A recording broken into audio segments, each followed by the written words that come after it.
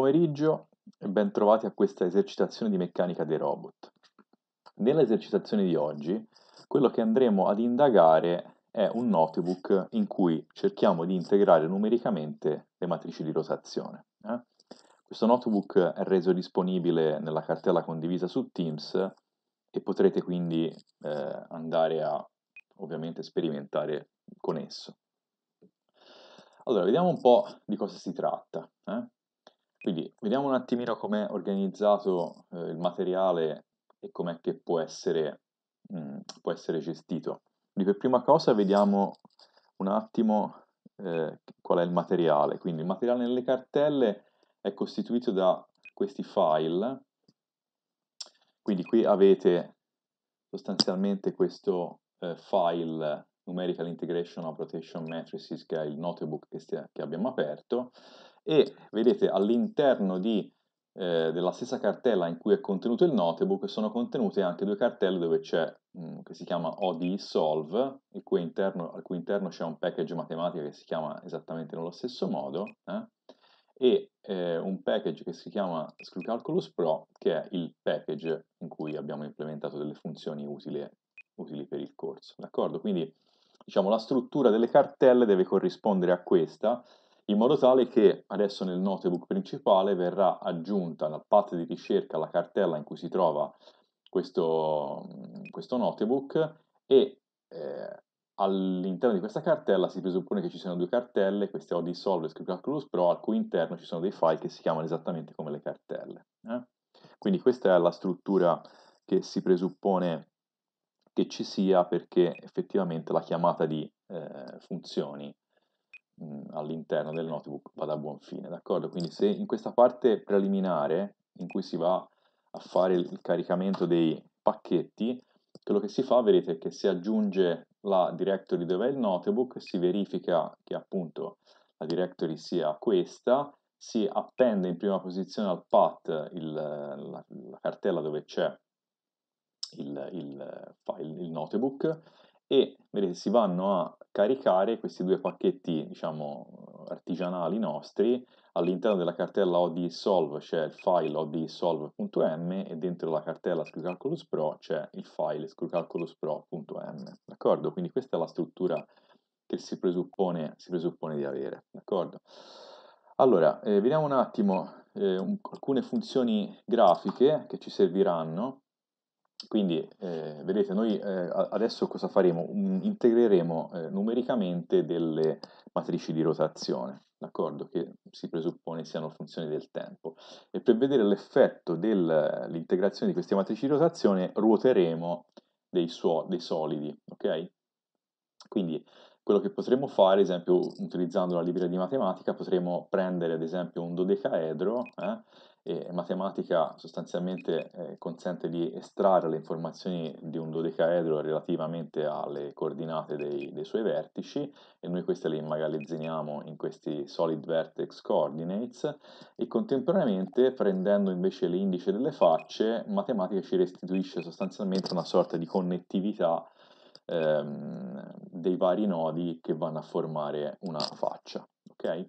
Inoltre in questa, fa- in questa, parte qui andremo a settare delle opzioni grafiche per quanto riguarda le primitive grafiche list plot, plot, plot 3D e graphics 3D, cioè andiamo a scegliere le font, andiamo a scegliere eh, la dimensione delle immagini, le etichette e, e per quanto riguarda ad esempio eh, graphics 3D vorremmo, vorremmo associare sempre alle, agli assi le etichette x, y e z e, e così via ok?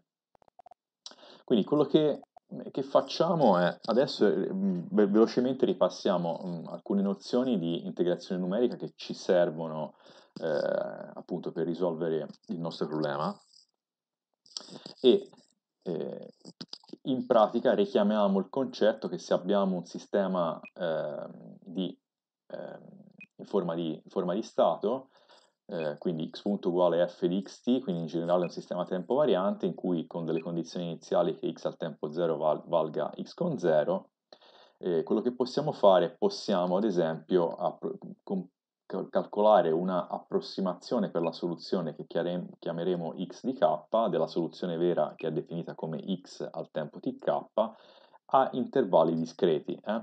Definiamo h piccolo come il passo di integrazione e ad esempio, se consideriamo il metodo più semplice, cioè un metodo esplicito, possiamo scrivere l'approssimazione per cui consideriamo che isk più 1 sia pari a isk più il valore eh, della f calcolata isk, tk, il passo e ovviamente in dalla funzione stessa che dobbiamo integrare. Eh? Un'altra cosa importante è richiamare il concetto di errore di troncamento locale, eh, che sostanzialmente, diciamo, molto velocemente, rappresenta di fatto la differenza fra il valore della soluzione vera al tempo tk più 1 e la sua approssimazione isk più 1 data dal metodo numerico che stiamo eh, integrando, che stiamo utilizzando. Okay? Quindi in questo caso, ad esempio, se questa è la soluzione vera e eh, la soluzione di K più 1 viene approssimata come abbiamo visto prima, ovviamente la differenza sarà pari a, esattamente a questa quantità che ho illuminato. Eh? Inoltre una cosa abbastanza importante è l'ordine del metodo di integrazione. Eh? Cioè un metodo di integrazione si dice di essere di ordine P se l'errore di troncamento locale è di ordine eh, H, per, alla, eh, H alla P più 1. Okay? Quindi se H è il passo di integrazione, eh, l'errore di troncamento è un infinitesimo, diciamo, di ordine superiore a P, cioè in particolare di ordine P più 1. Ok? Quindi eh, richiamiamo velocemente alcuni metodi di integrazione un po' più comuni, ad esempio il metodo di Eulero in avanti, eh, e questo metodo ha diciamo, ordine eh, P uguale 1. Eh, sostanzialmente vediamo che l'approssimazione viene fatta in questo modo, x al passo k più 1 viene approssimato come x più il passo per il valore della funzione f, cioè la funzione, eh, quello che viene definito anche il campo, calcolato in corrispondenza esattamente di x e tk, no? quindi questo è un metodo esplicito, si dice anche Eulero esplicito. Mentre Eulero indietro, quindi backward Euler, è un metodo diciamo stabile in cui l'approssimazione al passo k più 1 è pari al valore della, dello stato al passo k più h per il campo calcolato all'istante k più 1, quindi al successivo. Ok? Quindi questo è un metodo implicito. Mentre ad esempio richiamiamo che il metodo di Runge Kutta eh, del quarto ordine è un metodo in cui sostanzialmente il valore dello stato al passo k più 1 è pari al valore dello stato al passo k più questa sorta di combinazione diciamo, di media pesata, quindi h sesti che moltiplica, h il passo, quindi h sesti moltiplicato a 1 più 2 a 2 più 2 a 3 più a 4, dove vedete questi valori a 1, a 2, a 3, a 4 sono calcolati in questo modo, quindi a 1 è calcolato come il valore del campo a ISK e TK, ok? Quindi esattamente nel valore diciamo, no, del nodo al, al passo K. A con 2 è calcolato a ISK più eh, h mezzi per a1 e a tk più h mezzi, mentre a3 è calcolato a isk più h mezzi per a2, quindi vedete è, richiama come questo il valore precedente, così questo a2 l'abbiamo calcolato precedentemente, sempre col tempo a tk più h mezzi, e infine a4 è calcolato a isk più h per a3, dove A3 naturalmente è stato calcolato precedentemente, e a tk più h, quindi esattamente al eh, nodo successivo no? della nostra discretizzazione. Okay?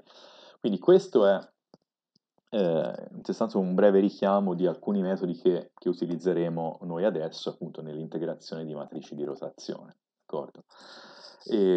Un esempio, un esempio di ehm, utilizzo di questi metodi, ecco la cosa importante da notare è che eh, questi, questi, metodi eh, di integrazione potrebbero essere disponibili anche in maniera nativa in matematica, ma perché possiate avere un esempio di come si possono implementare dei metodi eh, numerici per l'integrazione di equazioni differenziali in forma di stato, ovviamente in generale non lineari, eh, appunto ho definito questo package che si chiama esattamente mm, ODE solve, ok? Quindi ad esempio possiamo andare ad aprire questo ODE solve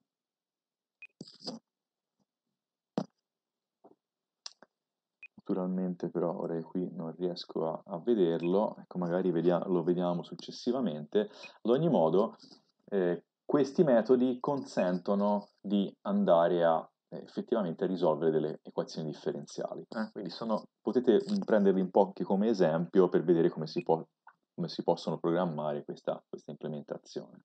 Eh? E un esempio che, che faccio è, uh, applico esattamente il, il, metodo di Runge-Kutta del quarto ordine per l'integrazione del famoso attrattore di Lorentz. Eh? Quindi l'attrattore di Lorentz è un sistema di equazioni differenziali molto diciamo, interessante, importante nei sistemi dinamici, in cui possiamo andare a, a vedere, vedete, è definito in questo modo, abbiamo che diciamo x1 punto uguale a questo coefficiente per x2 meno x1, x2 punto uguale a questa quantità, quindi x2 punto uguale a x1 per questo coefficiente meno x3 tutto meno x2, mh? Hm? e x3 punto è uguale a x1 per x2 meno quest'altro coefficiente lor b per x3. Okay? Quindi qui noi andiamo a definire sostanzialmente il valore del campo in funzione di x1, x2 e x3 Qui definiamo quali sono le variabili indipendenti, qui diamo una condizione iniziale, qui definiamo qual è l'orizzonte temporale in cui noi vogliamo integrare l'equazione differenziale, quindi ad esempio qui integriamo per 20 secondi, eh, eh, ipotizzando di partire al tempo 0 con uno step di 0,025 secondi, d'accordo? Quindi vediamo che se andiamo a plottare la traiettoria del nostro sistema dinamico a partire dal punto verde, punto iniziale, fino al punto rosso, vediamo che le traiettorie formano questo, questo pattern diciamo, molto carino che ha definito una sorta di farfalla, vedete? Soltanto che è una, far, una farfalla diciamo tri, tridimensionale, quindi la vediamo abbastanza bene. E può essere interessante andare a vedere appunto con matematica, potete prendere spunto su come si può costruire utilizzando un manipulate eh, la creazione di questa traiettoria semplicemente andando a ripescare le soluzioni eh, indicizzate mediante un indice i immagazzinate in questa eh, lista sostanzialmente chiamata Sol Lorentz a cui viene applicato delle primitive grafiche eh, che poi vengono chiaramente abbellite con delle, delle indicazioni sui colori. E qui ad esempio possiamo andare a vedere qual è l'evoluzione della traiettoria a partire dal punto iniziale. Ok? Quindi questo rappresenta com'è che eh, di fatto evolve le traiettorie in funzione del tempo nel, nello spazio x1, x2, x3, eh, lo spazio di stato in cui è definita questa equazione differenziale. Naturalmente qui possiamo anche un pochino decelerare per apprezzare meglio l'andamento di questa soluzione e vedete come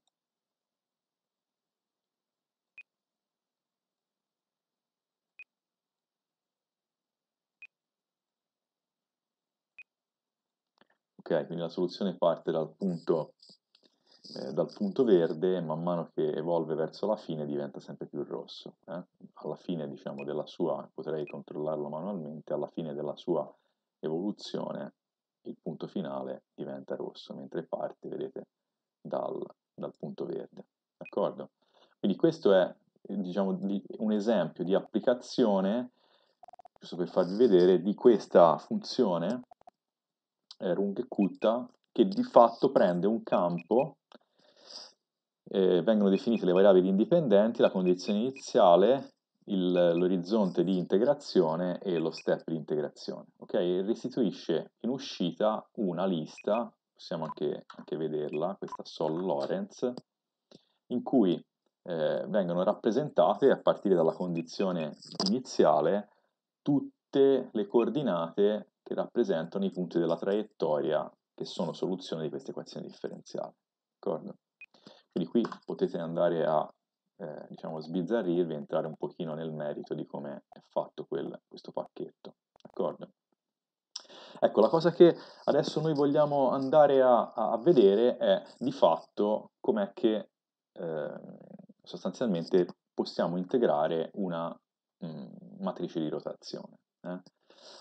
E per fare questo, forse la cosa più, um, più interessante può essere andare appunto a riprendere un pochino la teoria delle, delle, rotazioni e vedere la relazione che c'è fra le rotazioni e la velocità angolare. Eh? Eh, quindi sicuramente una cosa che, che, si può fare, possiamo un attimo adesso condividere uno schermo okay, dell'iPad in cui vado un attimo adesso a richiamare delle informazioni che abbiamo già un po' viste, da cui possiamo ricavare delle informazioni sulla eh, diciamo, cinematica differenziale delle matrici. Quindi noi partiamo da eh, definire una matrice RGL che è una trasformazione di coordinate da L a G, ovvero l'abbiamo visto, l'abbiamo interpretato anche come uno spostamento dalla configurazione definita da G verso L espressa ancora nel sistema di riferimento G. Ok? Quindi come se la matrice RGL rappresentasse effettivamente uno, una rotazione che viene applicata diciamo, a un corpo rigido che lo porta dalla configurazione G verso la configurazione L e tutta questa cosa è descritta nel sistema di riferimento di partenza, cioè in G. Naturalmente sappiamo che una matrice di rotazione è una matrice eh, ortogonale, in particolare con determinante più 1, quindi R per R trasposto fa l'identità, e se noi prendiamo questa espressione e la deriviamo rispetto al tempo, scriviamo che RGL punto per RGL trasposto più RGL per RGL punto trasposto è uguale a 0. No? Quindi se portiamo questo termine a destra dell'uguale, gli cambiamo di segno, possiamo applicare l'operatore di trasposto a tutta questa matrice, quindi mi si scambiano l'ordine delle matrici interne queste, e quindi di fatto quella che mi rimane sostanzialmente è la definizione del fatto, vedete che questa matrice qua è uguale a meno la sua trasposta, perché quello che ho qui dentro è esattamente quello che ho qui. Quindi questo cosa mi dice? Mi definisce che la matrice RGL per RGL trasposto è una matrice antisimmetrica. Eh? E questa matrice antisimmetrica rappresenta esattamente la versione appunto di matrice antisimmetrica del vettore velocità angolare. No? Infatti se noi abbiamo un corpo rigido che ruota attorno ad un punto fisso, quindi l'origine in particolare di g, sappiamo che la velocità lineare di un punto è pari a omega vettor pg.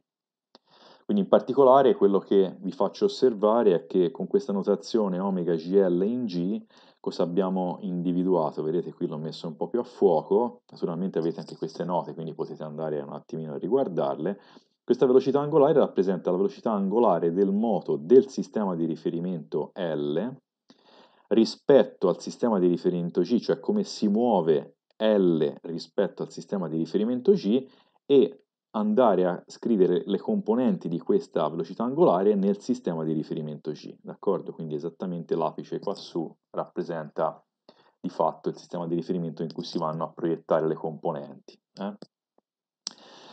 Quindi di fatto la relazione eh, che mi dice qual è la velocità lineare di un punto in un corpo rigido è che pg punto è uguale a omega cappuccio per pg, con la versione diciamo, di matrice antisimmetrica nutrita con le componenti del vettore velocità angolare in componenti g.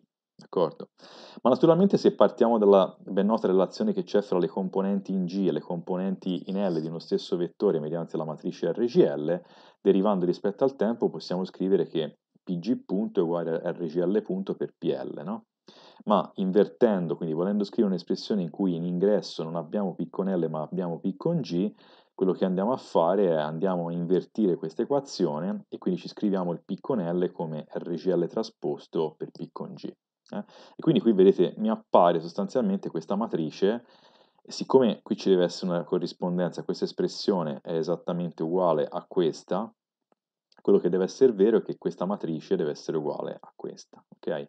Quindi abbiamo dimostrato che la matrice omega GL in G è calcolabile come RGL punto per RGL trasposto. D'accordo?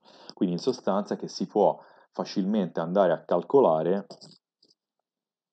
la matrice antisimmetrica che rappresenta la velocità angolare di un corpo rigido andando a moltiplicare la derivata temporale della matrice di rotazione per la, sua, per la matrice di rotazione trasposta. Ok? Quindi è evidente che se uno prende questa versione eh, che definisce, vedete, sbilanciata, in cui abbiamo, siamo andati a definire la velocità angolare come matrice antisimmetrica, se noi andiamo a prendere questa espressione qua e la post moltiplichiamo per RGL trasposto, otteniamo di fatto che RGL punto, ok, cioè la derivata temporale della matrice di rotazione è pari alla matrice antisimmetrica della velocità angolare per la matrice di rotazione stessa. Okay? Quindi in pratica questa versione mi lega le derivate temporali della matrice di rotazione, vedete RGL punto, con la matrice RGL attraverso questa matrice antisimmetrica in componenti G, vedete l'apice, che rappresenta la cosiddetta velocità angolare spatial, cioè le componenti della velocità angolare in versione di matrice antisimmetrica in un frame globale. D'accordo? Quindi noi adesso cosa possiamo, possiamo dire? Possiamo eh, esattamente usare questo tipo di relazione perché se noi conosciamo la orientazione di un corpo rigido codificata in una matrice RGL al tempo zero, ok, quindi una condizione iniziale, integrando questa equazione differenziale, ipotizzando che venga data in ingresso la velocità angolare del corpo rigido, possiamo integrare questa equazione differenziale, quindi calcolarci la matrice RGL di t, che rappresenta in grande l'orientazione del corpo rigido quando è soggetto a questa velocità angolare. Quindi lui evolve nel tempo sulla base di cosa gli dice questa matrice che rappresenta la velocità angolare. Chiaro? Quindi questo è esattamente quello che vorremmo andare a fare, andare ad attaccare l'integrazione di questo sistema di equazioni differenziali, diciamo, in forma matriciale. Ok? Ecco, una, un'osservazione, naturalmente questa equazione qua è una versione, diciamo, molto compatta delle eh, formule di Poisson, perché se noi ci ricordiamo che possiamo andare a mettere la matrice RGL non rappresenta altro che eh, NGL, SGL e AGL, cioè le componenti dei versori della terna L no? in componenti nei versori della terna G, okay? cioè la proiezione dei versori NL, normal, sliding e approach, quindi NSA, le componenti di questi versori nel sistema di riferimento G, quindi sappiamo, abbiamo, sappiamo bene che la matrice RGL esattamente ha per colonne le componenti dei versori della terna L proiettate nella terna G. Naturalmente la matrice RGL, eh, RGL punto avrà al suo interno derivate temporali dei versori corrispondenti. No? Quindi la relazione che rappresenta questa equazione differenziale matriciale di evoluzione, se volete, della matrice di rotazione in funzione della sua configurazione diciamo iniziale e della eh, matrice di eh, la matrice della velocità angolare, se la vado a spezzettare nelle varie componenti, questo mi dice che ngl punto uguale a omega vettore ngl, sgl punto uguale a omega vettore sgl, agl punto uguale a omega vettore agl. E queste naturalmente sono le formule di Poisson, d'accordo? Che mi dicono che la temporale di un versore è omega vettore il versore stesso, d'accordo? Ecco, una cosa che può essere interessante se io questa espressione qua la voglio adesso andare a esplodere perché sia più chiara, naturalmente posso scrivere che le componenti di una matrice RGL le chiamo RJ generiche e che quindi la derivata temporale di quella matrice prevede il calcolo delle derivate temporali di tutte le componenti è uguale alla matrice antisimmetrica costruita a partire dalle componenti del, del vettore velocità angolare moltiplicato per la matrice stessa. D'accordo? Quindi questa è una un'equazione differenziale matriciale che però se volete la possiamo anche diciamo, vettorializzare nel senso che la possiamo di fatto semplicemente andare a fattorizzare, quindi andare se volete a srotolare le componenti della matrice in un unico vettore, quindi la matrice 3x3 ha 9 elementi, andiamo a costruire un, un vettore che è costruito diciamo, andando a, a, organizzare gli elementi della matrice diciamo, in questo modo, ok? Quindi prendiamo questi tre, ci attacchiamo questi tre, poi ci attacchiamo questi tre e li mettiamo in un unico vettore in verticale. Eh? Dopodiché andiamo a prendere questa espressione e la andiamo a fattorizzare rispetto alle componenti di questo vettore qua organizzato come un vettore a 9 componenti, d'accordo? Quindi quello che andiamo a riscrivere in una forma, se volete, più vettoriale, questo, ops, mm, questo sistema di equazioni differenziali matriciali e quindi possiamo arrivare ad una forma di questo tipo, di questo tipo eh, in cui se andiamo a chiamare con R vettore gli elementi della matrice R grande eh, e andiamo a chiamare con questo omega grande GL in G la versione che si adatta a questa scrittura della velocità angolare, abbiamo che la matrice, eh, questa matrice qua diventa una matrice, vedete, molto sparsa, una matrice chiaramente 9x9 che deve essere in, in grado di andare a moltiplicare un vettore a 9 componenti della matrice di rotazione e dare in uscita un vettore a 9 componenti delle derivate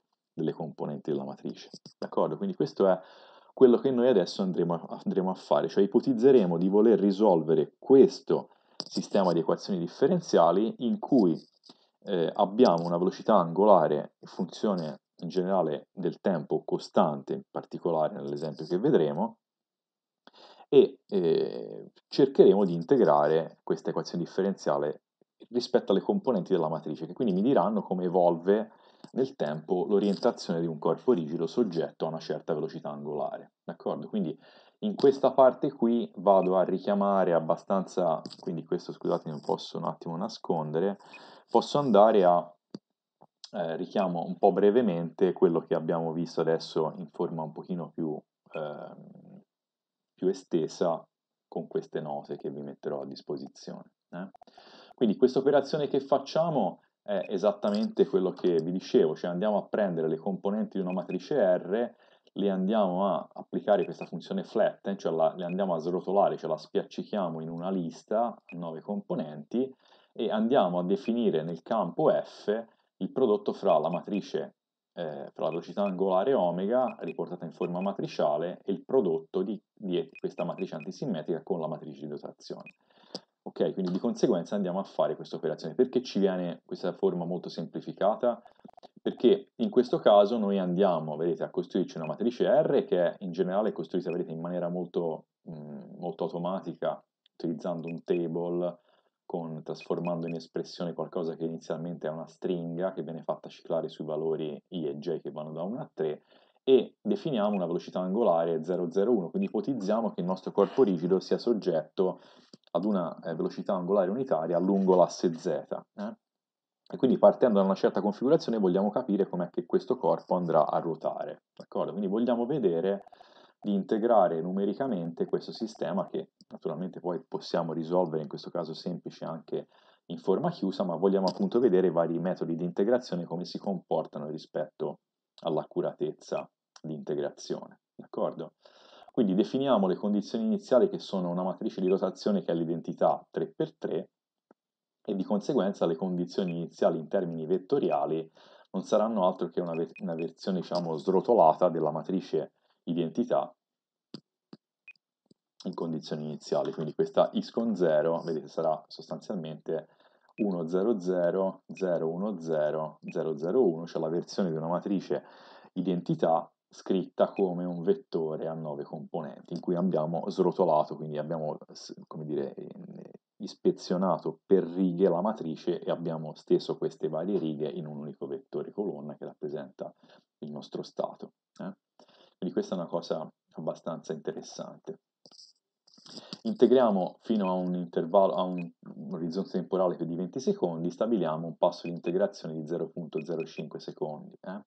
Quindi noi sappiamo chiaramente che per una velocità angolare costante, eh, eh, la soluzione del sistema R punto uguale omega cappuccio per R, che è di fatto il sistema che andiamo adesso a, eh, a, a dover integrare, se la matrice omega è costante, è la soluzione in forma, in forma, chiuso, in forma chiusa è, è, presente e è scritta come R di t uguale a, alla E omega cappuccio per T per la configurazione della matrice R al tempo 0, no? quindi mediante l'esponenziale di matrici in cui la nostra matrice dinamica era esattamente la matrice eh, omega, cioè la matrice omega cappuccio, che quindi è la matrice antisimmetrica costruita a partire dalle componenti del vettore velocità angolare omega. Eh?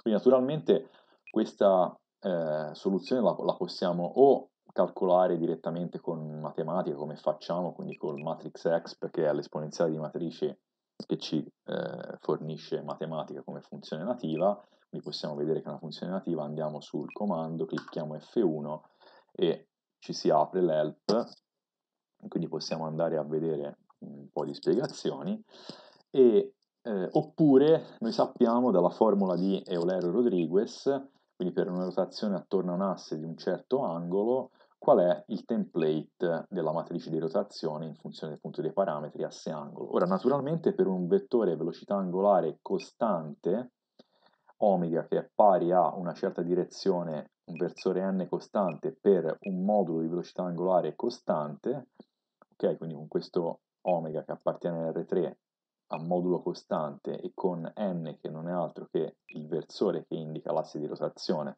attorno a cui stiamo rotando, naturalmente possiamo costruire questa matrice R di t direttamente sfruttando il template della matrice di Eulero-Rodriguez. Quindi questa è l'evoluzione, sarebbe l'equivalente di calcolare E alla omega cappuccio per t per la configurazione della R al tempo 0, d'accordo? E quindi questo ci rappresenta in funzione del tempo t la configurazione attuale del nostro corpo rigido soggetto a una velocità angolare omega di modulo costante attorno a un asse fisso nello spazio. Eh? Se vogliamo usare direttamente funzioni native di matematica, utilizziamo questo matrix exp e andiamo a, camp a campionare questa soluzione mediante un table per un t che va fra 0 a t-end con il nostro passo delta time che ci siamo eh, andati a definire esattamente qua sopra. Eh? E ecco, per vedere un attimo cosa eh, otteniamo, possiamo definire un solido che rappresenta la configurazione del nostro solido di riferimento al passo iesimo di integrazione, okay? quindi il primo passo sarebbe la configurazione in realtà iniziale, l'ultimo passo è la configurazione finale, e possiamo andare a vedere eh, ad esempio il nostro solido in configurazione iniziale. Okay? Quindi questo è il solido, questo dodecaedro, che noi utilizzeremo per vedere quando andiamo a ehm, ruotare corpo, questo corpo rigido soggetto a una velocità angolare definita e noi andiamo a vedere come si è spostato, come è ruotato a seguito dell'azione di questa velocità angolare, utilizzeremo esattamente questo corpo per mostrare l'effetto della rotazione. Ok? Quindi eh, diciamo che abbiamo noi adesso la, la possibilità in questa in questa SOL noi abbiamo la nostra soluzione analitica rispetto alla quale ci confronteremo e andremo poi a utilizzarla per vedere le performance di vari metodi. Eh? Quindi ad esempio proviamo a testare i nostri metodi di integrazione per integrare quel sistema di equazioni differenziali matriciali riportato in forma vettoriale. Eh? Quindi cosa si può dire Quindi, utilizzando Eulero in avanti? Quindi prima ancora di, di cominciare cosa possiamo dire? Eh, noi possiamo dire che, vedete, se noi trattiamo eh, la RK più 1 come un RK più H per il campo calcolato al passo K, eh, quello che andiamo a vedere è che possiamo fattorizzare questa espressione rispetto a RK e vedere che la RK più 1 sarà pari a 1 più H per omega cappuccio che moltiplica RK. Eh. Cosa interessante è che se noi andiamo già adesso a calcolare dopo un, dopo un passo, fra il passo K mettete che sia il passo K uguale 0 e il passo RK più 1 che sarebbe il passo 1, noi già possiamo, ci possiamo già accorgere che il determinante della R dopo già un passo è esattamente pari al, al determinante del, del, prodotto di queste due matrici, che è uguale ovviamente al prodotto dei determinanti delle singole matrici, cioè questa e la matrice RK. Eh? E naturalmente, siccome la matrice di, da cui partivamo ipotizzavamo che fosse una matrice di rotazione, quindi la determinante più 1, è ok, mentre in generale il determinante di I più H per omega cappuccio è diverso da 1, quindi possiamo andare a vedere ad esempio che la matrice dopo un passo, vedete, è l'identità iniziale più questa parte antisimmetrica dovuta al fatto che abbiamo questa omega, che nel caso particolare è componenti 0,0 eh, 1, quindi ci troviamo diciamo, il meno 1 qui moltiplicato per, per h con la matrice antisimmetrica e vediamo già che il determinante dopo un primo passo è pari a 1 più h quadro. D'accordo? Quindi anche se naturalmente il passo h è molto piccolo, noi abbiamo già verificato che dopo un passo noi usciamo da SO3, cioè la nostra matrice non ha più determinante unitario e questo è a seguito dell'effetto del metodo di interazione. Quindi in altre parole, la nostra matrice RK più 1 no, apparterrebbe a SO3 so, se e solo se H uguale 0. Okay? E notiamo anche se noi andiamo a calcolare il valore assoluto della differenza fra 1, che sarebbe il valore che dovrebbe avere il determinante della matrice se fosse effettivamente una rotazione, eh, rispetto al valore che ha il determinante già dopo un passo, questo, verifichiamo che questo è uguale a h quadro. Ok, quindi noi vediamo che sostanzialmente stiamo commettendo un, un errore sul valore del determinante di ordine di h quadro. Eh?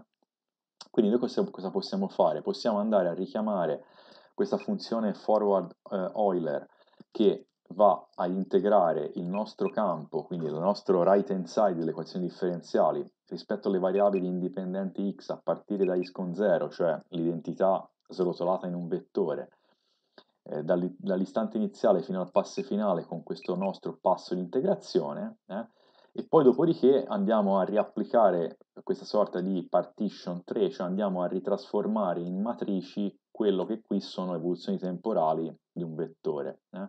Quindi se noi ci andiamo a calcolare questa soluzione, andiamo a vedere che, giusto per, per andare a vedere un attimo cosa otterremmo, no? se noi andiamo a valutare quanto vale questa espressione, vedete qui otteniamo tutta una serie di vettori, questa è la condizione iniziale, questo è dopo un passettino h, dopo 2h, e questi cosa sono? Sono vettori che hanno 9 componenti che se li andiamo a riformattare eh, come questa è la prima riga, questa è la seconda riga e questa è l'ultima riga, questa rappresenta il valore della matrice di rotazione srotolata dopo un passo di integrazione H utilizzando il metodo di Eulero in avanti.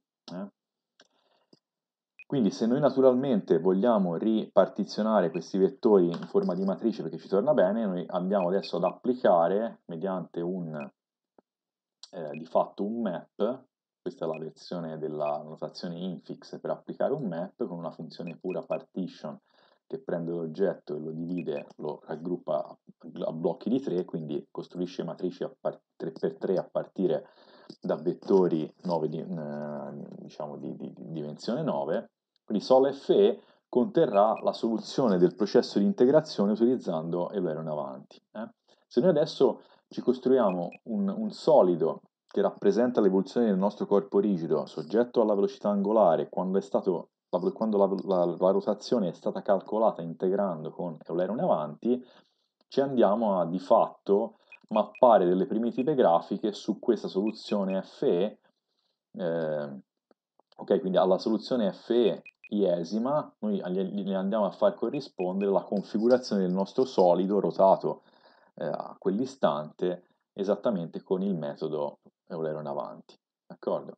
E quindi se noi adesso andiamo a, a vedere, eh, vedete, andiamo a vedere cosa, cosa stiamo rappresentando. Qui stiamo rappresentando in contemporanea sia solid nella configurazione iesima, cioè sia il corpo ruotato secondo la rotazione calcolata in forma chiusa, quindi con la formula corretta, sia il solido nella sua configurazione, diciamo, iesima, quando, stato, quando però la sua rotazione è stata calcolata integrando numericamente quell'equazione differenziale. Eh?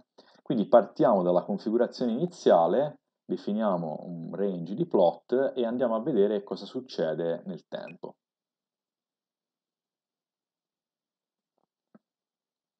Ok? Vedete cosa, cosa sta succedendo? Allora, il corpo interno, quello con eh, spigoli spessi, rappresenta il solido che sta ruotando a seguito di una rotazione attorno ad un asse verticale z, abbiamo detto che la omega era pari a 0,01, quindi stiamo ruotando attorno a un asse verticale, vedete qui c'è la x, questa è la y e in verticale abbiamo la z, quindi stiamo ruotando attorno a un asse esattamente verticale con una velocità angolare di modulo unitario.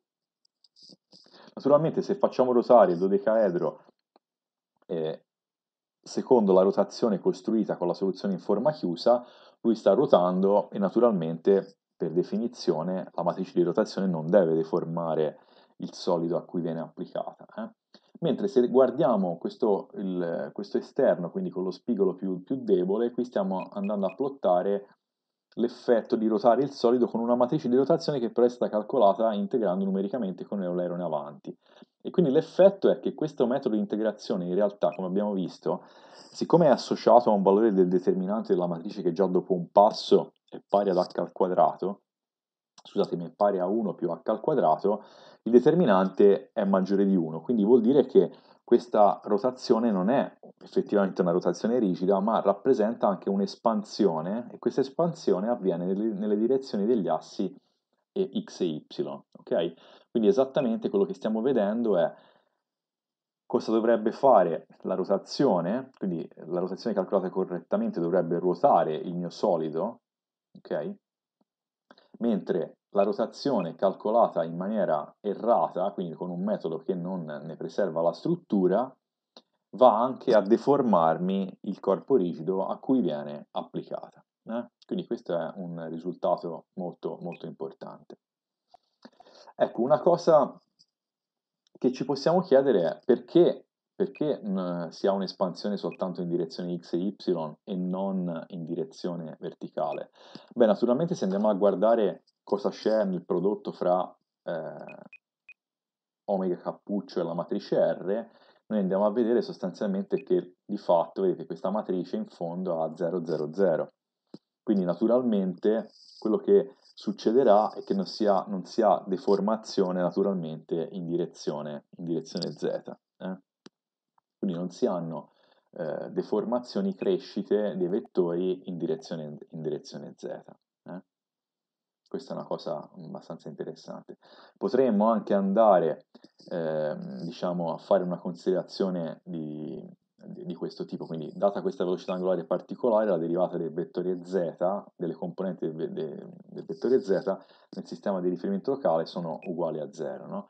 Potremmo anche in realtà considerare il fatto che l'autovalore 1, che è associato sempre in una matrice di rotazione che ha tre autovalori e tre autovettori, quindi una matrice di rotazione tridimensionale eh, c'è un, autove- un autovalore reale di valore unitario che è associato a un autovettore eh, che ha componenti reali eh, e due autovalori complessi coniugati che sono associati a due autovettori che sono anch'essi eh, complessi. Eh e naturalmente si vede che se uno si va a calcolare eh, il sistema di autovettori e autovalori, quindi vedete qui abbiamo la lista dei tre autovalori, quindi 1, 1 meno i per h, 1 più i per h, quindi questo è l'autovalore unitario associato all'autovettore 001 che effettivamente rappresenta l'asse di rotazione di una matrice, quindi potete sempre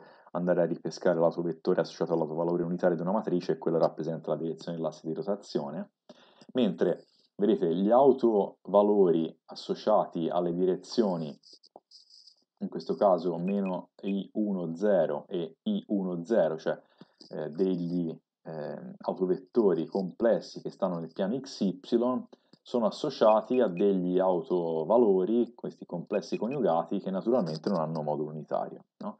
e che rappresentano di fatto il fatto che in quelle direzioni si hanno delle deformazioni delle fibre che sono disposte in direzione sul piano XY, mentre non si hanno deformazioni della fibra che è delle fibre che sono dirette come l'asse Z?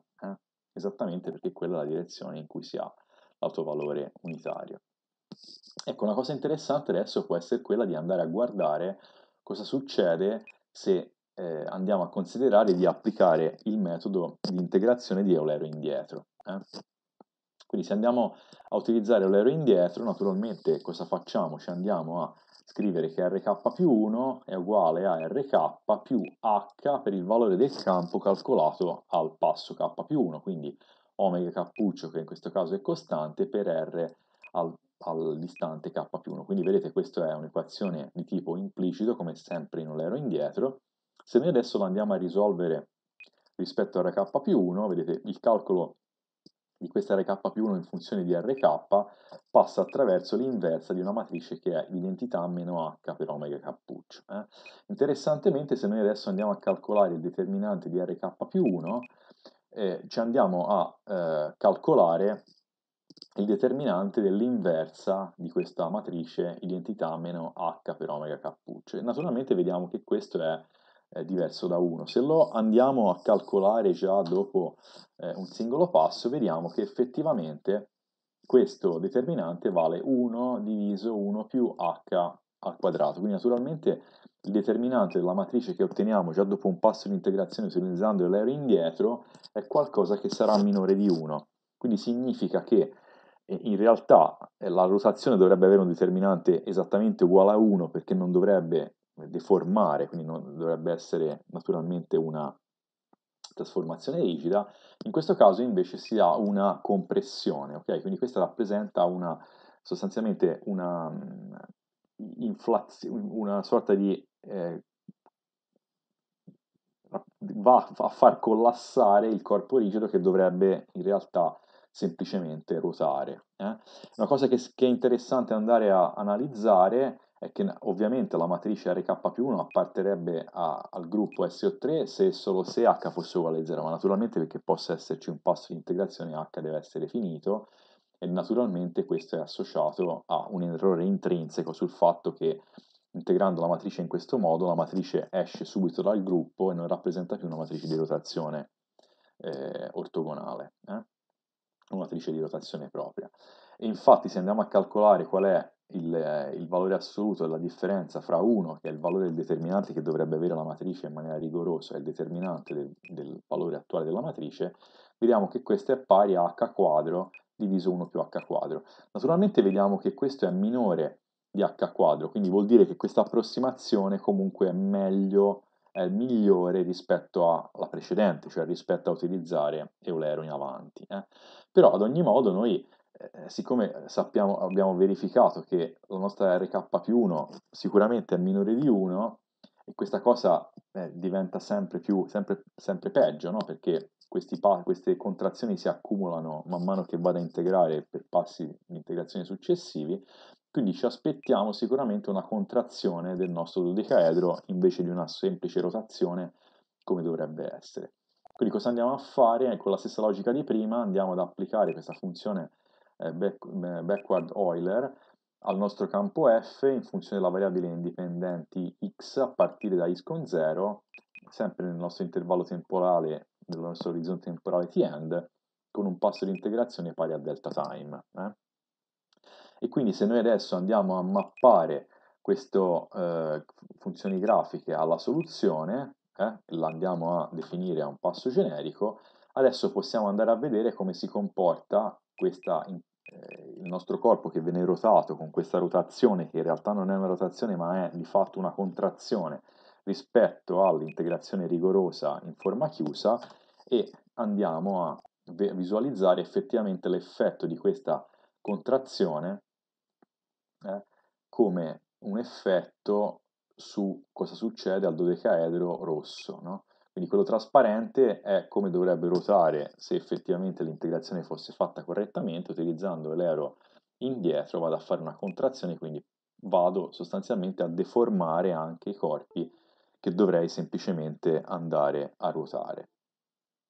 Quindi andiamo appunto a vedere di nuovo che se andiamo ad integrare il nostro sistema di equazioni differenziali corrispondenti a questa rotazione dettata dalla velocità angolare unitaria lungo l'asse z utilizzando l'ero indietro, quello che si va ad ottenere di fatto è una contrazione, perché come abbiamo visto il determinante già dopo un primo passo è minore, minore di 1. Eh?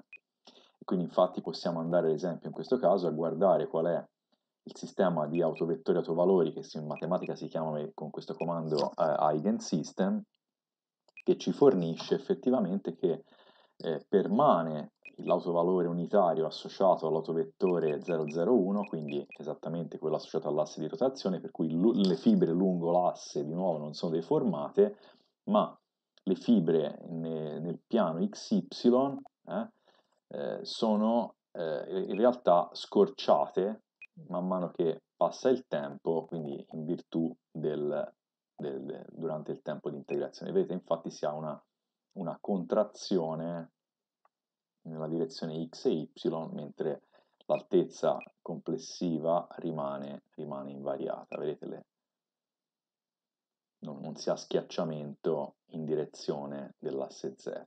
Naturalmente dopo un po' poi questo, eh, questo solido spari, sparirebbe perché la sua contrazione diciamo, lo farebbe diventare monodimensionale. Eh? Ok, quindi ecco, giusto per avere un'idea dei vantaggi, quindi qui diciamo, adesso non è che vogliamo entrare in una trattazione avanzata delle metodi di integrazione, ma semplicemente volevamo far vedere che bisogna stare molto attenti a integrare eh, equazioni differenziali matriciali, par- questo perché in realtà le componenti di una matrice di rotazione non possono essere trattati come elementi vettori di uno spazio lineare, perché appartengono in realtà ad una varietà che è eh, SO3 eh, e quindi se noi andiamo a applicare degli schemi di integrazione classici, noi andiamo a violare la struttura intrinseca di questi oggetti e quindi li facciamo uscire dal, dal gruppo in cui vivono, da questa varietà in cui vivono, cioè SO3, e di conseguenza quello che succede è che eh, si perdono delle proprietà che dovrebbero essere eh, naturalmente verificate perché sarebbero associate naturalmente al fatto che una matrice di rotazione deve essere una rotazione, quindi deve avere sicuramente determinante unitaria. Eh? Ecco, se noi invece adesso andiamo a utilizzare il metodo di Runge e Kutta, adesso andremo a magari a guardare poi più in dettaglio all'interno del codice o di Solve come sono implementati questi, questi integratori, e ad ogni modo se noi andiamo a utilizzare questo metodo sul nostro, sul nostro stesso mh, equazione differenziale che rappresenta la rotazione attorno all'asse verticale con velocità angolare unitaria e mettiamo, immagazziniamo la soluzione in questo sol RK, dopodiché andiamo a guardare ad ogni passo di integrazione iesimo il solido eh, corrispondente alla rotazione calcolata integrata con Runge e Kutta e andiamo a fare il confronto con la soluzione eh, analitica, quindi quella in forma chiusa, vediamo che in questo caso, possiamo anche magari un pochino rallentare, vedete, in questo caso nel tempo di integrazione di fatto la deformazione che si ha è abbastanza piccola, no?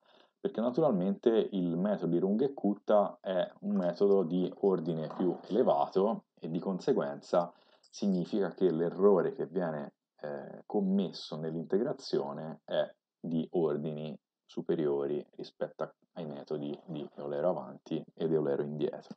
D'accordo? Quindi ad esempio sicuramente eh, questa è una, una, cosa che è abbastanza nota, eh, come dire, per fare un po' di considerazione fi- finale, per andare un pochino a stringere sui risultati finali, come un indice per misurare la qualità dell'integrazione numerica possiamo usare la cosiddetta norma di Frobenius di una matrice, cioè in particolare andare a guardare la norma della soluzione, cioè della matrice errore eh, che si commette fra la matrice reale e la matrice R approssimata. Quindi sappiamo che la R deve, deve evolvere eh, per rappresentare una rotazione attorno a un asse verticale, la R approssimata a seconda del metodo di integrazione mi crea anche delle deformazioni, posso andare a calcolarmi la matrice proprio differenza, cioè la matrice differenza elemento per elemento, e ad andare di questa matrice differenza che vado a chiamare A, calcolare la norma di Frobenius, che è una norma matriciale che di fatto eh, rappresenta eh, la norma euclidea di un vettore che è costruito prendendo gli elementi della matrice e srotolandoli su un unico vettore. Ok? Quindi la norma di Frobenius è esattamente questa. Quindi se noi adesso andiamo a plottare la norma di Frobenius dell'errore eh, fra la matrice eh, rigorosa e la soluzione ottenuta integrando, la, la, la, integrando, in maniera rigorosa, in forma chiusa, la rotazione, oppure integrandola con l'ero in avanti, oppure integrandola con l'ero indietro, oppure integrandola con Runge e Kutta, si vede bene che si ha un andamento di questo tipo. Cioè, in particolare si vede che in orizzontale si riportano il numero di, di iterazioni, in, in, ordinata si riporta la norma dell'errore, quindi la norma di, ehm, la norma di Frobenius della matrice differenza fra eh, quella rigorosa e quella approssimata, e si vede che man mano che le iterazioni procedono, la, eh, in, la norma dell'errore della matrice calcolata con eh, Eulero in avanti, quindi forward Euler, cresce in questo, in, vedete, in maniera abbastanza repentina, eh, questa, secondo questo andamento verde, mentre Euler indietro cresce un pochino meno, no? mentre vedete Runge e Kutta è abbastanza spiaccicato in direzione dell'asse delle, delle ascisse a dimostrare che naturalmente la norma dell'errore cresce molto più lentamente al procedere delle iterazioni e quindi questo giustamente spiega perché vedete possiamo arrivare ad integrare fino al nostro tempo finale senza di fatto quasi apprezzare il fatto che stiamo diciamo integrando se volete in anello aperto senza tenere conto del fatto che questa matrice potrebbe uscire da SO3 quindi il metodo di integrazione è sufficientemente diciamo preciso per far uscire molto molto lentamente la matrice di rotazione dal, da SO3 eh? ecco una cosa che può essere interessante sapere è eh, come si fa a proiettare in SO3 una matrice. Eh? In particolare vedremo, vediamo che un modo comodo è um, utilizzando il metodo di valori singolari, cioè in sostanza la domanda che ci poniamo è noi ad ogni passo di integrazione k, noi uh, quello che ci poniamo vogliamo calcolare la matrice di rotazione RK tilde che appartiene a SO3 no? che quindi rappresenta la proiezione di RK, che invece non appartiene a S3 su SO3. Quindi ci, ci chiediamo qual è la migliore approssimazione appartenente a SO3 di una matrice che a SO3 non appartiene, che è il risultato della nostra integrazione utilizzando dei metodi che commettono dell'errore. Eh? E quello che si può fare è che si può trovare questa eh, proiezione su SO3 di una matrice RK che non appartiene a SO3 cercando di minimizzare la norma di Frobenius della differenza fra la matrice che non sta su SO3 e la sua corrispondente proiezione. Eh? E si può dimostrare, questi diciamo, sono i risultati noti in letteratura, potete cercare dei riferimenti anche direttamente in maniera autonoma, che eh, la soluzione a questo problema è calcolata in questo modo, cioè questa RK tilde, quindi la, la matrice di rotazione che sta su SO3, che è più vicina ad una RK data, è costruita come U per una matrice così fatta per V trasposto, dove U e V cosa sono? Sono le matrici sinistre e destre della decomposizione ai valori singolari della matrice RK di partenza, cioè se noi prendiamo la nostra matrice RK di partenza, quella che non è una rotazione, ne facciamo la decomposizione ai valori singolari, quindi la scriviamo come una fattorizzazione per cui abbiamo una matrice U ortogonale, una matrice sigma diagonale, una matrice V ortogonale, questa ricostruzione della matrice V è trasposto, eh?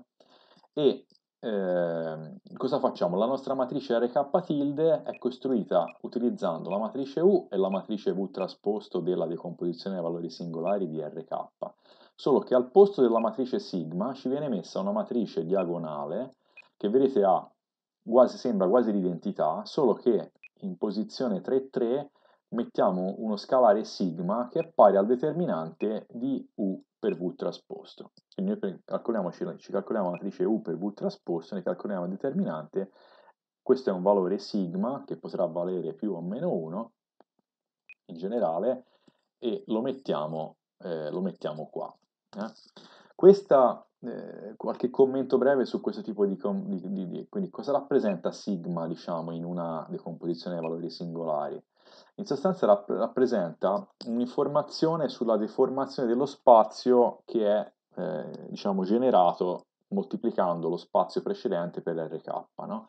quindi noi questa sigma la andiamo a rimuovere perché vogliamo ripu- ripulire le deformazioni U e V hanno informazioni sulla, sulle rotazioni, cioè su quanto viene rotato lo spazio a seguito dell'applicazione della matrice di RK e quindi noi teniamo queste informazioni. No?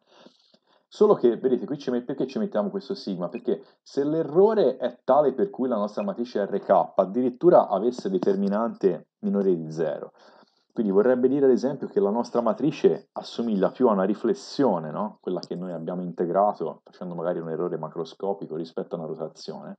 Allora in quel caso per una riflessione il determinante di U per V trasposto sarebbe qualcosa di minore di 0, d'accordo? E quindi le matrici U e V di per sé non sarebbero delle matrici eh, di rotazione, ma sarebbero delle, eventualmente una, una, una, una rotazione, una riflessione, complessivamente il loro determinante sarebbe negativo. Quindi se noi qui al posto di sigma ci andiamo esattamente a mettere il determinante di U per V trasposto, noi andiamo di fatto a compensare l'eventuale errore che c'è nei segni, diciamo, di U e V trasposto, in modo tale che il determinante di RK tilde sia esattamente pari a più 1 e di conseguenza la nostra approssimazione sia effettivamente una rotazione propria. Eh? Quindi questo è quello che noi andiamo a fare.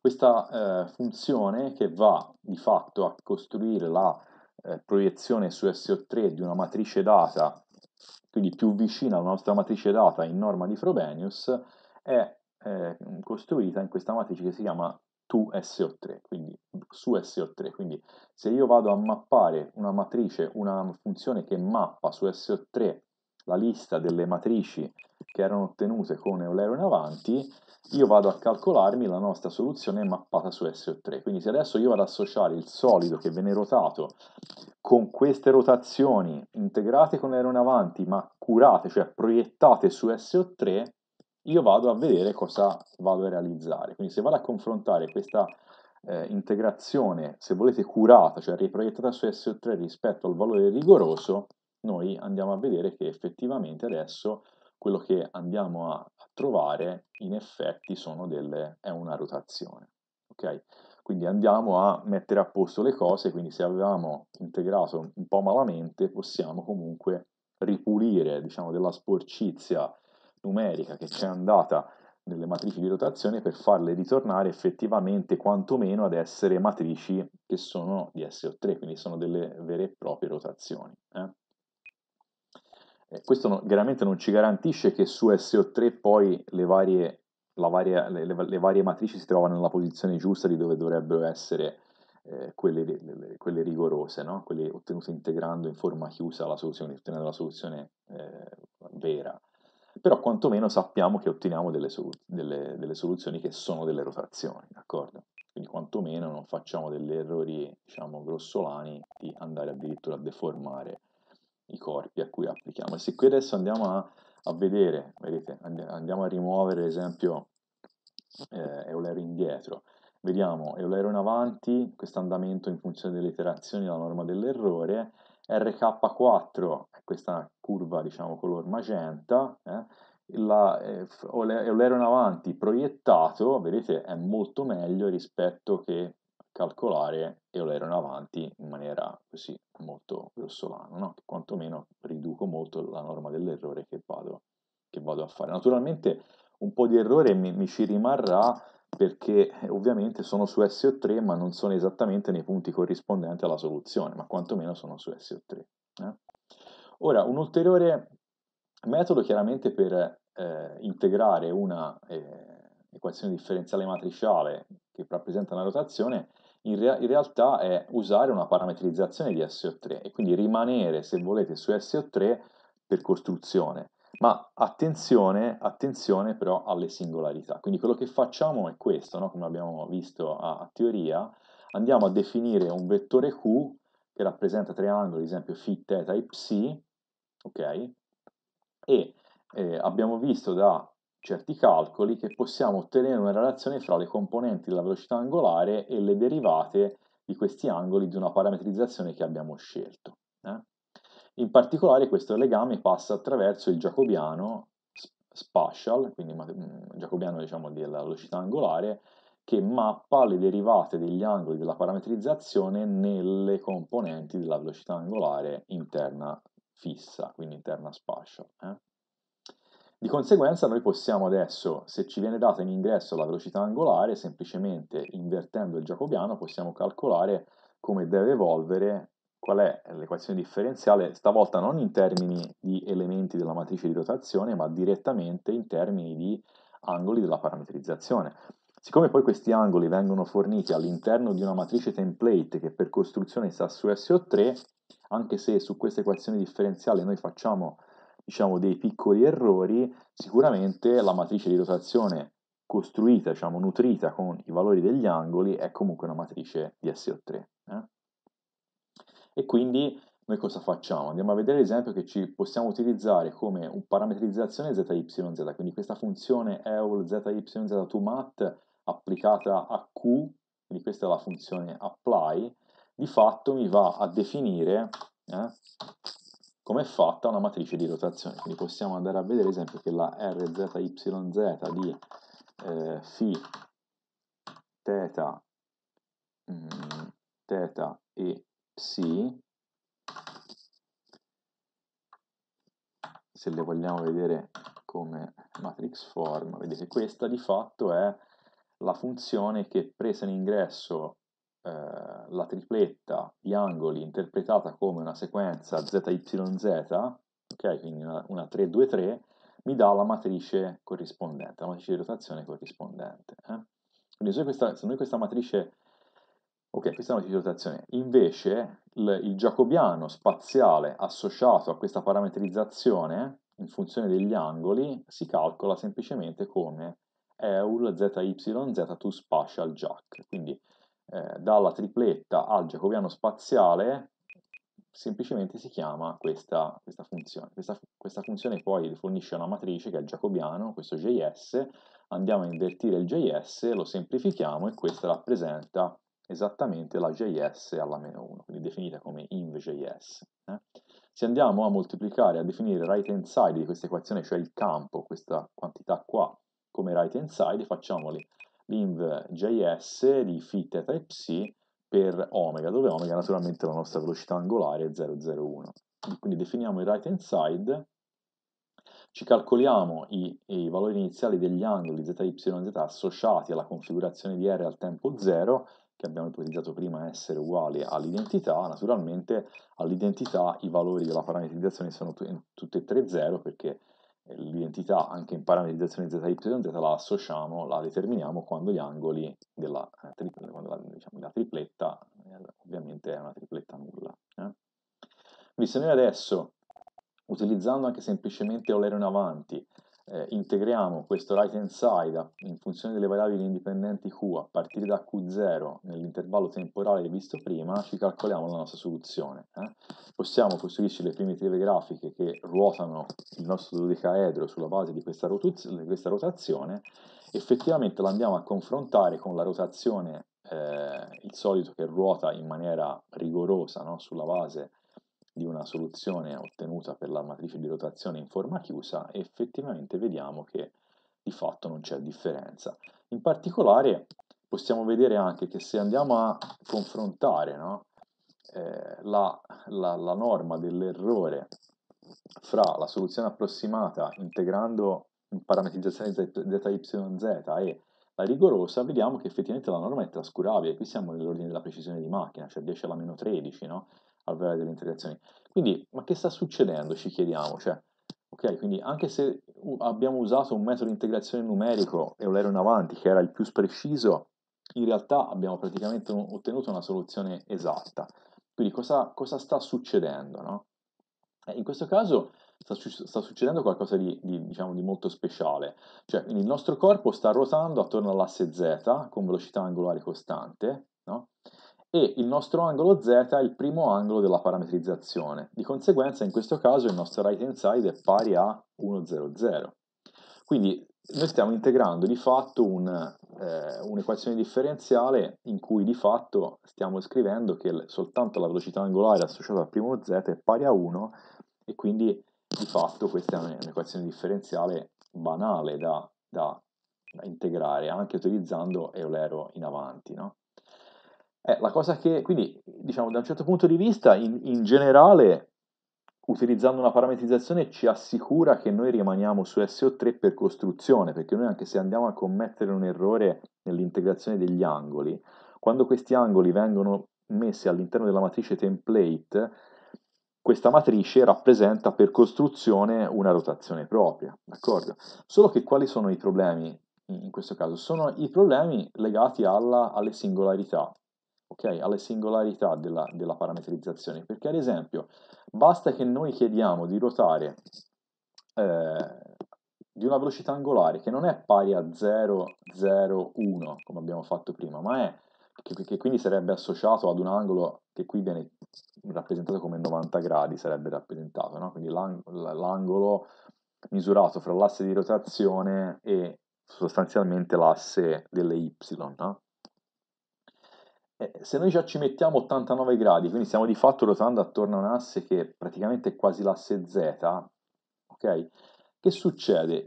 La nuova omega è un nuovo vettore, il nuovo right hand side, vedete, stavolta dipende anche da θ e da φ, e la cosa interessante è che anche se noi andiamo a guardare anche semplicemente il primo termine di questo right hand side, lo andiamo a plottare per φ e θ che variano all'interno del loro range di variazione, vedete che questo right hand side sostanzialmente ha dei valori veramente ballerini, no? cioè che vanno, eh, che eh, divergono.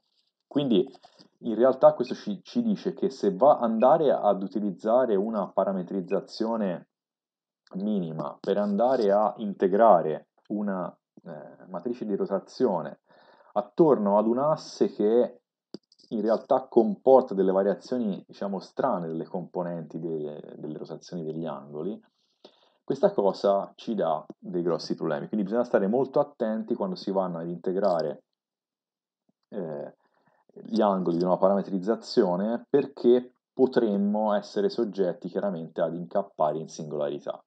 E questo naturalmente se uno non si accorge di questo, ma va ad applicare, ad esempio, l'ero in avanti a integrare questo nuovo right hand side che prevede dei salti molto strani e l'attraversamento di singolarità, naturalmente quello che succede è che vi vengono eh, forniti dei messaggi per cui vengono trovati fondamentalmente delle, delle, espressioni per cui ci sono delle divisioni per zero e quindi complex infinity, quindi naturalmente questo non porta niente di buono e se naturalmente noi adesso chiediamo di andare a plottare che succede, questa cosa non funziona, d'accordo?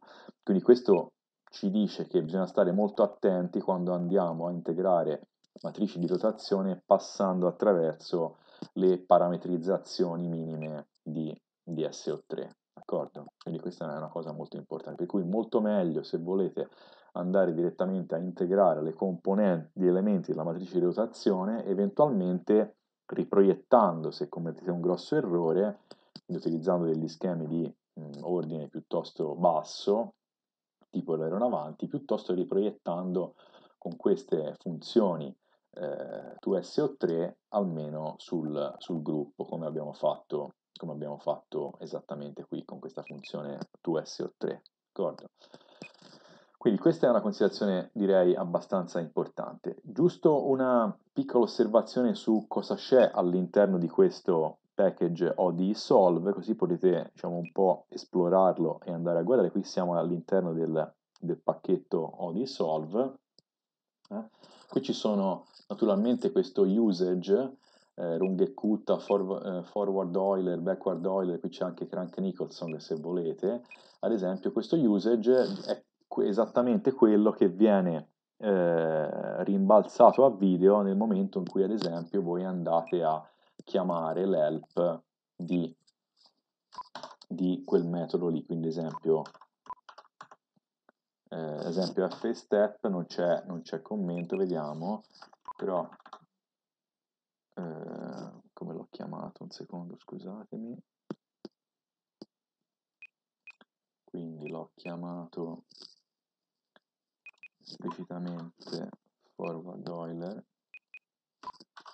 quindi se cerco lo usage di forward Euler, vedete mi spiega che io qui ci devo andare a mettere, proviamo a ingrandire un pochino,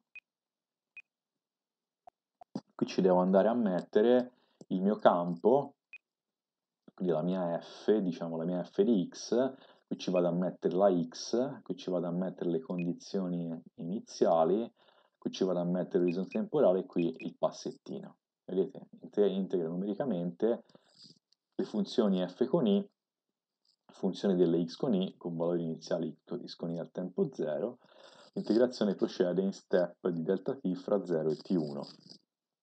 Eh? E attenzione, qui c'è ora una cosa che vedremo, eh, si possono integrare anche dei sistemi non autonomi eh, utilizzando semplicemente un overloading di una funzione che eh, adesso andremo un attimo a vedere. Eh. Quindi se torniamo un attimo sul nostro codice, se torniamo un attimo sul nostro codice, ok, la cosa interessante è vedere come di fatto la struttura. Quindi andiamo a prendere ad esempio per semplicità il metodo di Eulero in avanti che è definito qua. Eh? Questo metodo eh, fondamentalmente consiste di tre funzioni. Consiste di, di tre funzioni. Questa eh, forward Euler step, eh, la forward Euler che si applica all'integrazione di, eh, di, campi diciamo autonomi, quindi di sistemi eh, autonomi, quindi in cui una f è funzione dello stato ma non esplicitamente del tempo, mentre questa forward Euler, l'ultima versione, si applica come, come pattern all'integrazione di campi tempo varianti, quindi in cui la f, in cui il campo f non dipende soltanto dallo stato, ma dipende anche esplicitamente dal tempo. Eh? E andiamo a vedere un attimo qual è l'idea alla base di questo, di questo, di questo metodo. Eh? Di questo metodo. Quindi riprendiamo proprio giusto un attimo un, delle note e così ci possiamo ragionare, ci possiamo ragionare meglio. Ecco, quindi possiamo vedere un po' come che ragioniamo. No? Quindi eh, nel nostro package OD Solve quello che facciamo è appunto integriamo il nostro sistema di equazioni differenziali ordinarie inizialmente tempo invarianti che sono scritte come un y punto uguale f di y, no? dove il nostro f di y è il campo in funzione del nostro stato che viene definito y, eh? con la condizione che y al tempo 0 è uguale a y con 0. Quindi con Eulero in avanti, con passo h, quando faccio un passo cosa faccio? Mi calcolo h1 che è uguale a h per f calcolato a y eh, iniziale e la nuova y con 1 è uguale alla y con 0 più questo k1, d'accordo? Quindi esattamente questo. Con questa logica, al passo successivo, cosa farò? Calcolerò che K2 è uguale a il passo H per il campo calcolato a Y con 1 e quindi Y con 2 sarà poi a Y con 1 più K2, d'accordo? Ecco, per fare questo tipo di ragionamento posso proficuamente utilizzare le funzioni di matematica eh, che si basano sulla programmazione funzionale, in particolare una molto molto comodo è la cosiddetta nest list. Eh? Come funziona la funzione nest list? Quindi se io chiamo ad esempio la mia funzione nest list con argomento g, x e 3, cosa vuol dire? Vuol dire che quello che mi dà in uscita è una lista, una lista costruita in maniera annidata, nel senso che come primo elemento, quindi questo è il valore iniziale che viene preso e messo qua. Poi viene applicata questa funzione all'argomento x e, e, questo risultato viene messo in seconda posizione. Dopodiché cosa viene fatto? Viene applicata di nuovo la funzione g, ma non più alla x, ma a questo g di x. E quindi il risultato è una g di, g di x che diventa l'argomento di questa. Ok? Dopodiché questa cosa viene ripetuta, quindi viene applicata di nuovo una g a questa versione e quindi otteniamo una g di g di g di x. Quindi questo numero che viene messo qui rappresenta quante volte viene annidata nell'ultimo elemento della lista la funzione sull'argomento iniziale, d'accordo? Allora, come si può fare a fare questo tipo di, di ragionamento? Quindi se io vado a definirmi una funzione che chiamo f con e, che mi prende in ingresso il nome della funzione che voglio applicare, eh, y rappresentano gli argomenti, cioè le variabili indipendenti, y con 0 rappresenta la condizione iniziale, no? e a in h ci metto il passettino. Quindi se io mi definisco una funzione f con e che mi prende questi quattro argomenti e mi dà in uscita cosa? Il valore del primo passo, la prima soluzione dopo un passo di integrazione, quindi y con 0 più h per f calcolato y con 0, no? Quindi quello che ho qui in uscita sarebbe quello che io definisco come y con 1, ok? Quindi se adesso io, vedete, faccio questo tipo di operazione, qui a livello di sintassi ci manca un end commerciale, eh? Quindi se io vado ad applicare eh, nest list con la funzione pura definita in questo modo, che si lascia libero questo slot, che di conseguenza viene, viene valutato su questo. Dopodiché questa procedura viene fatta in maniera annidata per tre volte, quello che c'è in uscita è y con 0, questo valore è quello che ho preso qui e viene direttamente rimbalzato in prima posizione. Dopodiché calcolerò la f con e a partire dalla y con 0, ma la fe calcolata a partire dalla y con 0 mi dà esattamente la y con 1. Okay? Se adesso questa operazione viene ripetuta su questa versione, di fatto non sto facendo altro che calcolare h f di y con 1 più y con 2, quindi qui ho esattamente y con 2. Se poi questa funzione viene riapplicata a questo, in uscita avrò naturalmente y con 3, ok? Quindi avrò esattamente in uscita la y con 3 che rappresenta diciamo, eh, il risultato di, finale, quindi dove sono arrivato ad integrare il mio sistema dopo tre passi. D'accordo? Quindi questo è il valore iniziale, dopo un passo, dopo il secondo passo, dopo il terzo passo. Quindi se volete, in maniera più esplicita, per capire come, come avviene diciamo, questo annidamento, la y con 1 è la fe di f y y con 0h. La y con 2 cosa fa? È la f y a partire dalla y con 1 che è esattamente questa cosa qua, ok? Riapplicata con l'argomento h. Dopodiché la y con 3 è la FE applicata a questa FE qua che finisce, vedete dove ci sono le parentesi verdi, no? che è esattamente questa cosa qua. E quindi qui in uscita ho esattamente la Y con 3. Eh? Quindi questo è esattamente quello che stiamo facendo adesso all'interno del codice, perché se io adesso vado a, a guardare cosa, cosa ho fatto nel codice e lo andiamo un pochino a ingrandire perché si possa vedere meglio. Vedete, quello che vado a fare vado a definire una funzione fstep che prende dentro il campo, la variabile indipendente, il valore iniziale e il passettino delta t di integrazione, quello che noi abbiamo chiamato h. No? Questo viene inserito all'interno di un modulo in cui definiamo una variabile locale k1 che è esattamente la nostra funzione f calcolata per la y che vale localmente y con 0 moltiplicato per h, questo è k1, y0 più k1 è y con 1. No? Quindi quando io vado a chiamare la mia funzione forward Euler, di fatto cosa fa? Prendo esattamente una f, un nome della funzione che definisco essere una lista, perché in generale assumo di avere un campo vettoriale, una y che è un vettore, le condizioni iniziali, il tempo finale e il passettino. E cosa faccio? Vado a mettere all'interno di questa funzione nestList il passettino, vedete la funzione definita precedentemente fstep, in cui ho definito questa funzione una funzione pura, vedete questo lo riconoscete dalla presenza del cancelletto e dell'end commerciale, quindi questa funzione eh, viene naturalmente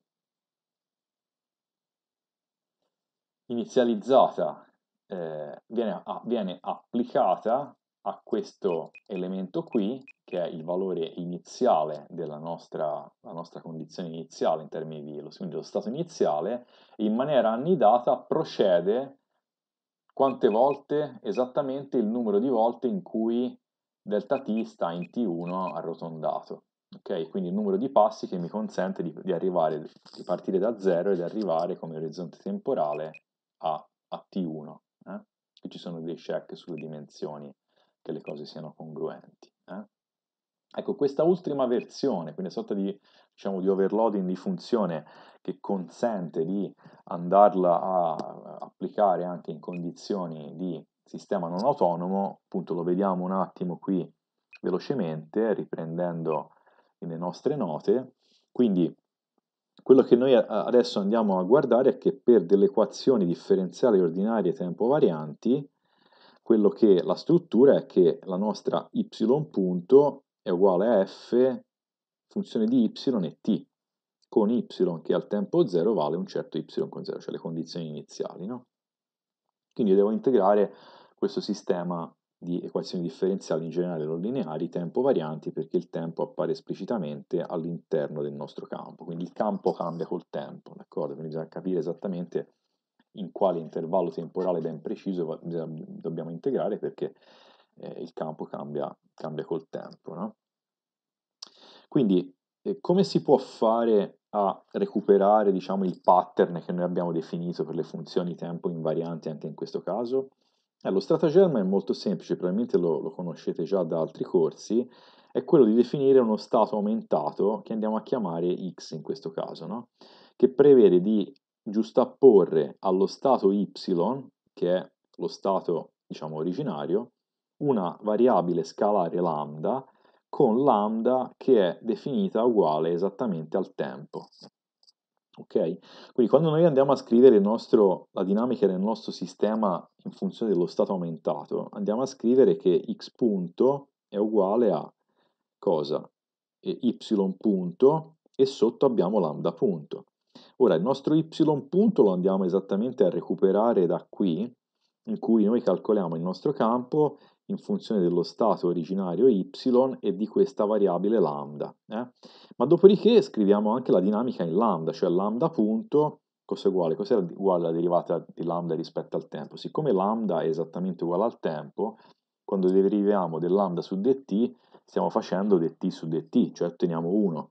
Quindi lambda punto è uguale a 1. In effetti lambda deve essere uguale al tempo, quindi diciamo, la sua dinamica, lambda punto uguale a 1, eh, no? cioè t punto uguale a 1 vuol dire fondamentalmente che noi integrando, integrando quella, mh, mm, cioè l'integrale di lambda punto deve essere il tempo e quindi ci ritroviamo come ultimo stato di questo stato aumentato esattamente come scorre il tempo. Eh? Naturalmente andiamo a mettere nello stato aumentato in condizioni iniziali x al tempo 0, lo definiamo come x con 0 e ci andiamo a mettere lo stato originario al tempo 0 e il tempo iniziale a, da, a cui cominciamo a integrare, perché stavolta dobbiamo diciamo, ancorare il nostro sistema anche al tempo, perché il sistema è tempo variante, altrimenti se, se lo integriamo in tempi diversi, naturalmente il nostro sistema, il nostro campo è, è differente. No? E quindi perché giustamente in questo caso è fondamentale tenere traccia del tempo zero iniziale perché il campo dipende dal tempo essendo tempo variante, d'accordo? E di conseguenza come si fa a fare questa, questa operazione ehm, a fare questa operazione nel nostro codice? Eh, possiamo semplicemente riprendere il nostro codice e andare a vedere cosa che abbiamo fatto. Quindi la forward Euler in funzione di un pattern diverso, quindi abbiamo fatto una sorta di overloading di queste funzioni, no? cioè funzioni che si comportano in maniera diversa a seconda degli argomenti diversi che prendono. Quindi la nostra forward Euler può prendere anche di nuovo un campo, eh, in, in, le variabili indipendenti che rappresentano lo stato, stato originario, le condizioni iniziali nello stato originario, però vede se, se invece di metterci semplicemente l'orizzonte temporale t1, quindi il tempo finale, e il passettino delta t, ci mettiamo anche, ci mettiamo t, eh, t0, t1, delta t, significa che vogliamo integrare in realtà un sistema che è tempo variante in cui la variabile indipendente è anche il tempo. E quindi cosa facciamo? Definiamo una variabile locale all'interno di un modulo, questo res, che è cosa? La, la chiamata alla funzione precedente, in cui però al posto di, del campo f ci mettiamo f1, cioè giustapponiamo ad f1, perché questa è esattamente come appare la dinamica, come abbiamo visto nelle, nelle note, no? Abbiamo che lambda punto uguale 1, quindi il right hand side del nostro campo associato alla lambda punto è esattamente pari a 1, le variabili indipendenti diventano y e t, ok? Appendiamo anche alla condizione iniziale nello stato la condizione iniziale del tempo, cioè qual è il tempo da cui cominciamo a integrare, e qui ci andiamo a mettere diciamo, l'orizzonte temporale come t1 meno t0, cioè ci interessa di sapere in, in, quale range stiamo integrando e con quale passo. Okay? Quindi vi faccio notare che questi argomenti sono argomenti che possono essere naturalmente dati in ingresso alla forward Euler tempo invariante e quindi semplicemente poi qui cosa andiamo a fare? Andiamo a prendere il risultato e andiamo a buttare via l'ultimo argomento perché diciamo in realtà sappiamo che il tempo scorre come lo facciamo scorrere noi in questa lista e di conseguenza ci troveremo come ultima componente dello stato aumentato esattamente il tempo che a noi di fatto non ci, eh, non, non ci interessa poi più di tanto. Eh? Non ci interessa più di tanto.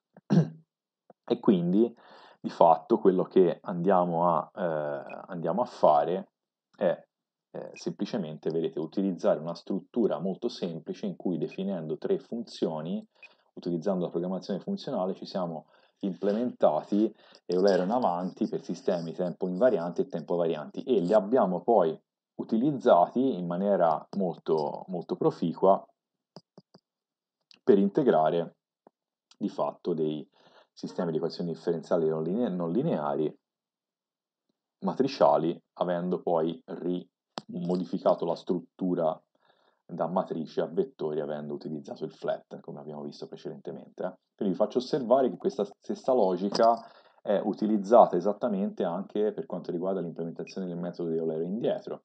Quindi semplicemente esattamente con la stessa logica, lo step che devo fare, eh, l'implementazione col nest list nel momento in cui andiamo a mh, mm, integrare un sistema tempo invariante e la estensione al tempo, al tempo variante. Naturalmente ci possiamo implementare anche il passo di lunga e cutta, quindi lo step di lunga e cutta vedete è un pochino più complicato, ma insomma niente, mo, molto poco. Quindi di fatto abbiamo scaricato diciamo, la difficoltà di implementazione del metodo nel singolo passo, che poi viene richiamato esattamente uguale a se stesso, semplicemente chiamando opportunamente il nome del passo, perché poi strutturalmente tutte le altre funzioni sono esattamente identiche, quindi probabilmente le potremmo anche ulteriormente semplificare. Eh? Quindi eh, spero che la esercitazione sia stata chiara, spero che vi, eh, così vi faccia un po' pensare a cose che probabilmente potevano non essere chiare o comunque vi, vi possa dare degli spunti di riflessione.